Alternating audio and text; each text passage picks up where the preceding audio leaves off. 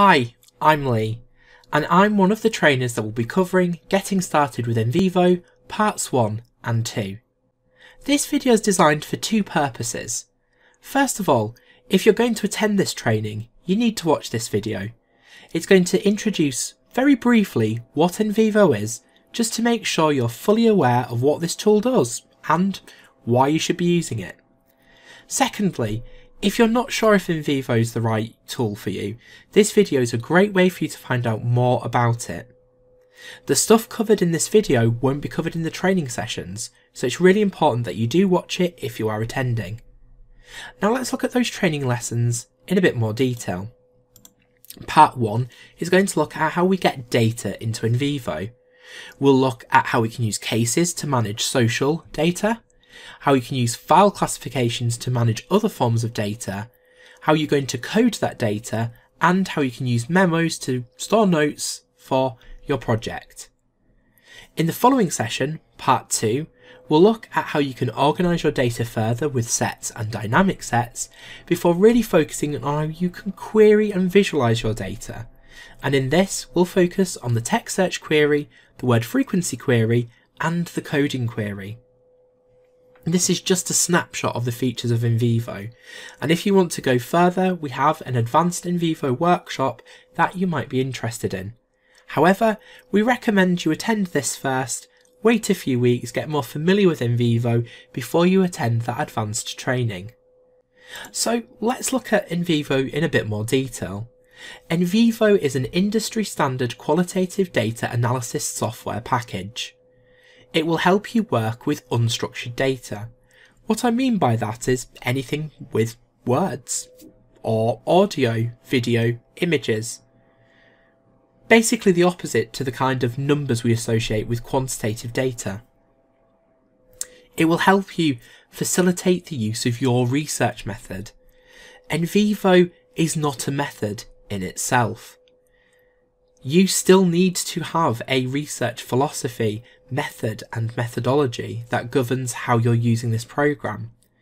No matter what you set out to do, however, you'll find NVivo is the perfect tool to help you do that digitally. And on that note, you can see NVivo helps you manage all of your data in one place. You'll have this big NVivo file that has all of your data, analysis and visualization stored in one handy place. Because NVivo is a software package, without doubt it can help you gain deeper insight into your work.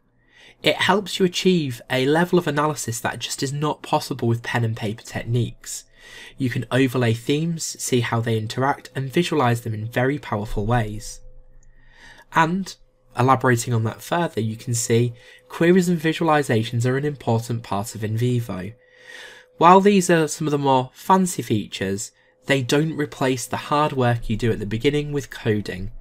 They do, however, provide you really interesting ways for you to visualize your data and explain some of the deeper insights you've gained through using this software. One really important thing that you need to understand is that NVivo will not do your analysis for you.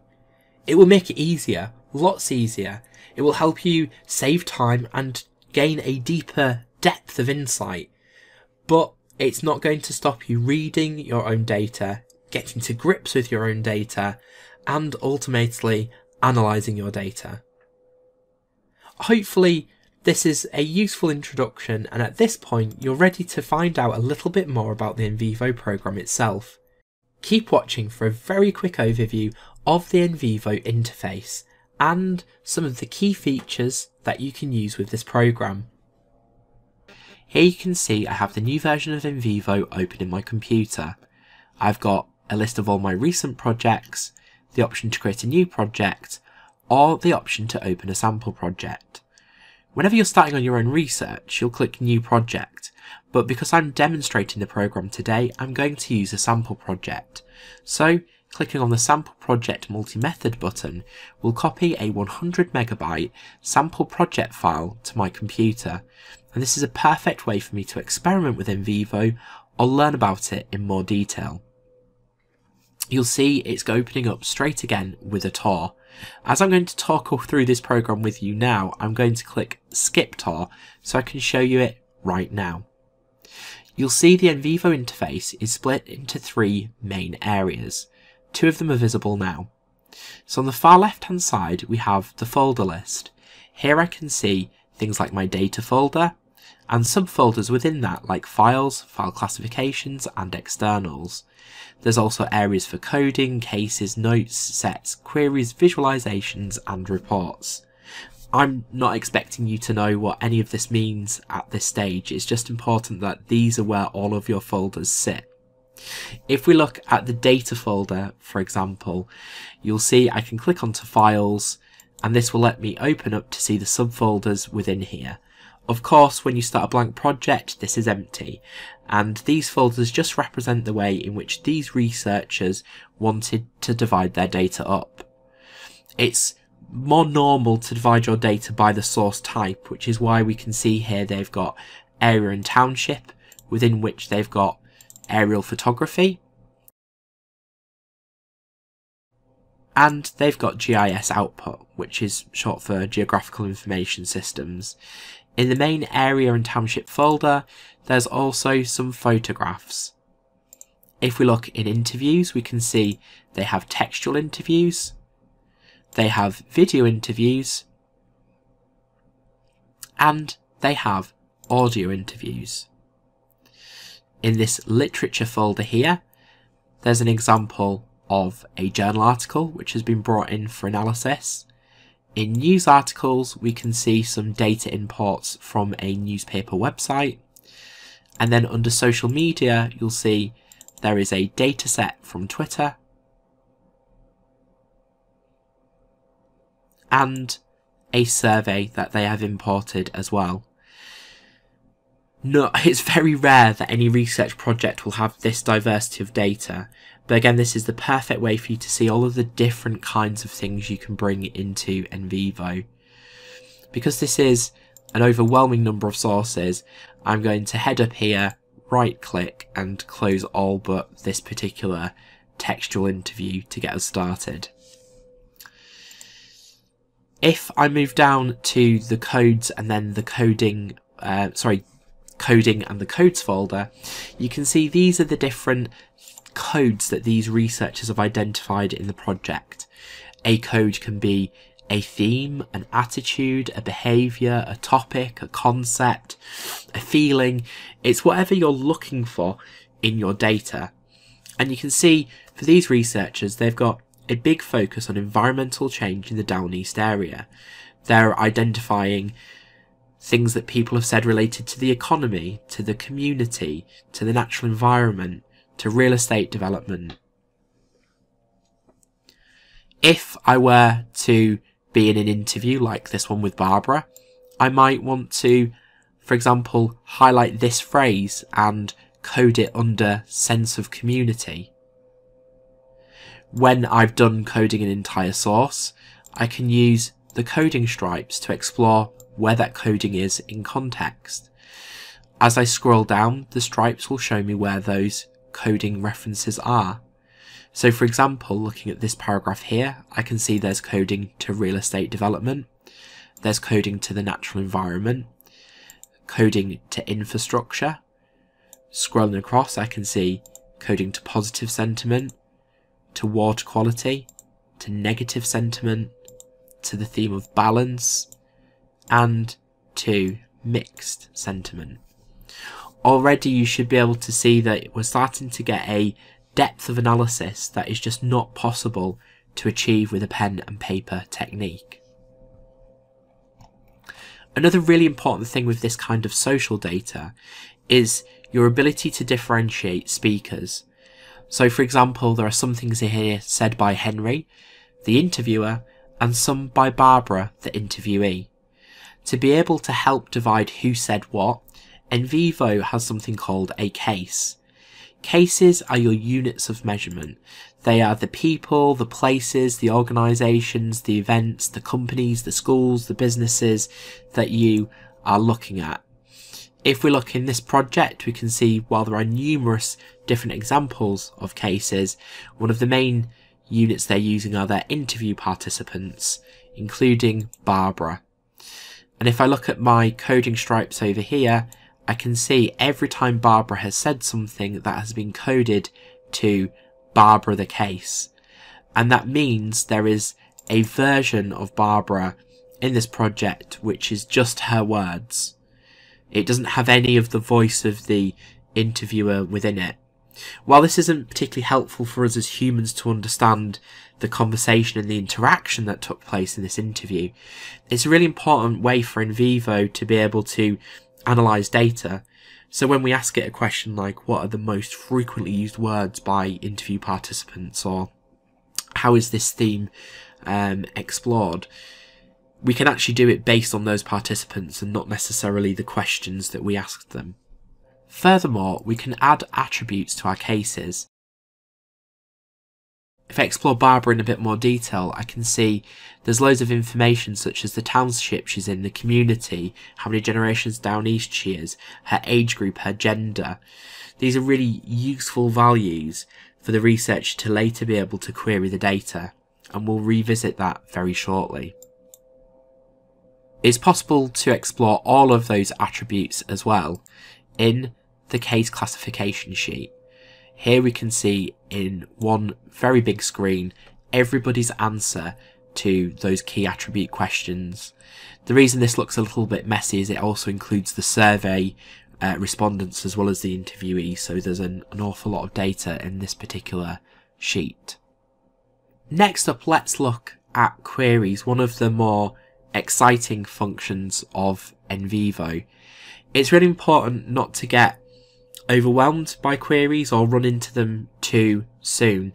The most important thing you will always do with your research data is coding it, reading it, understanding it, and going through that iterative process.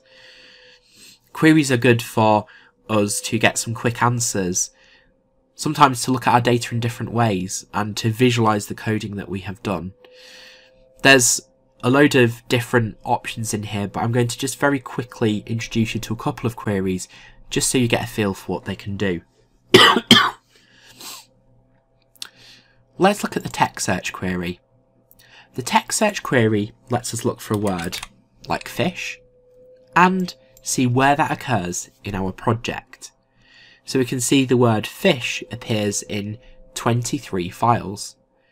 I could, of course, have just narrowed this down to maybe just look at where it occurs in our interviews, and that now goes down to just these 10 files that the word fish appears in. I can look at the individual references using the tab on the right hand side, which will show me where the word appears. So for example, twice in Barbara's interview, and it shows me some of the context around. When I get down to Charles's interview, I can see this is part of the question from the uh, interviewer, and then obviously a number of responses from Charles as well using the term.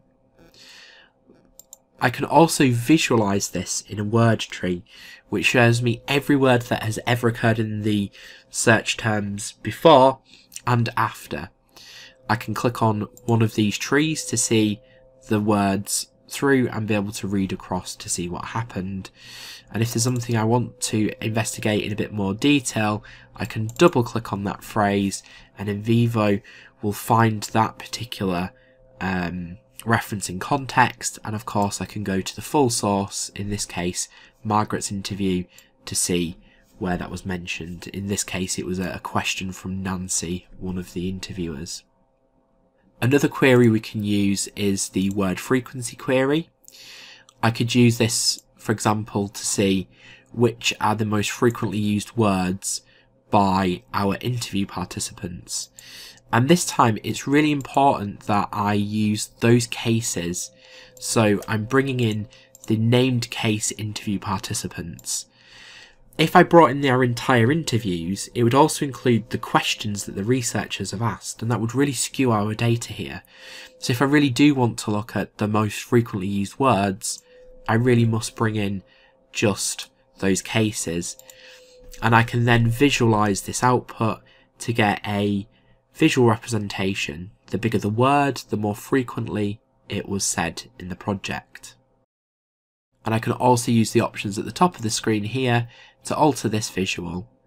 These can be quite a popular way to quantify things without explicitly allocating numbers to them.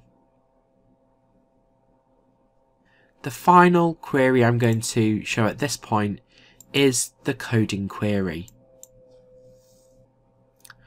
The coding query is perhaps one of the more powerful but also complicated queries. It lets us ask very complicated and detailed questions of our data.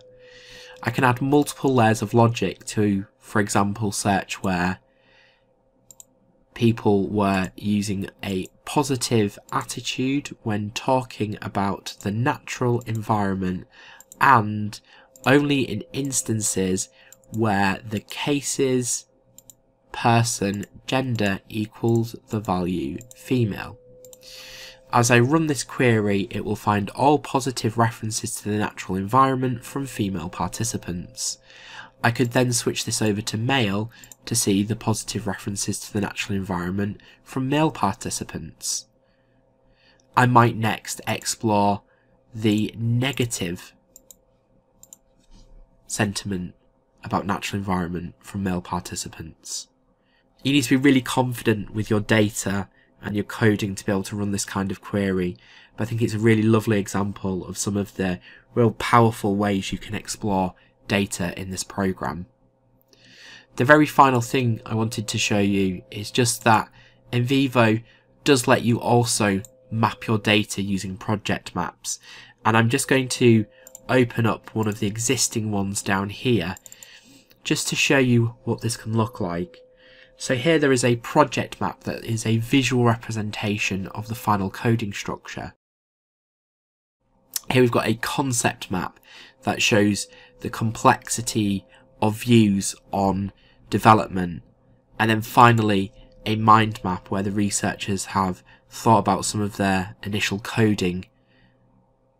This video has very quickly gone over numerous functions within NVivo.